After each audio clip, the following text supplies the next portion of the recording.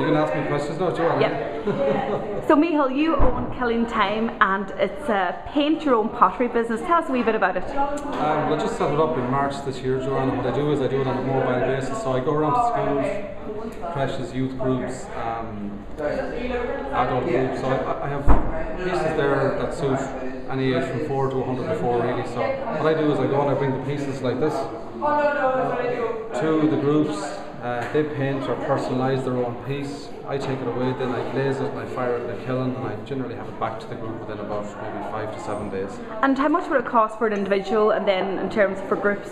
Um, well, I have I've group rates showing there starting from around maybe 10 euro person for group rates, you know. So I've I've a range of pieces maybe starting from around 8 to 10 euro up to maybe 20, 22 euro for some of the dearer pieces for the adult groups, you know. And you, you would initially, I suppose, think that perhaps it's only geared towards kids, but certainly not.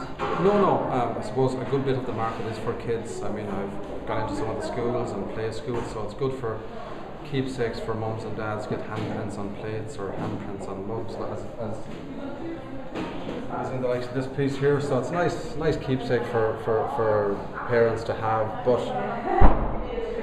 I've done a lot more than that. I've done some youth groups, so teenagers, it's suitable for teenagers, uh, for adult groups, women's groups, girls' night out, girls' night in, so it's pretty broad. And it's a very in- inexpensive way of entertaining yourself and having something tangible at the end. Exactly, it is very inexpensive, it's a bit of crack, it's very relaxing. A lot of the groups I've done it for it's nice and creative and relaxing for a night out, have a few glasses of wine as an adult group. Plus, as you say, at the end of it, everybody has something to show for their effort. So, how can people get in contact with you?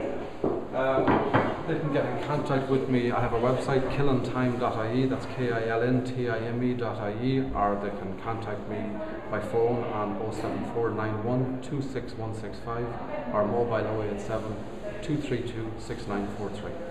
Great, thank you, and Thanks best of luck with it. Thanks, Joanne. Thank you.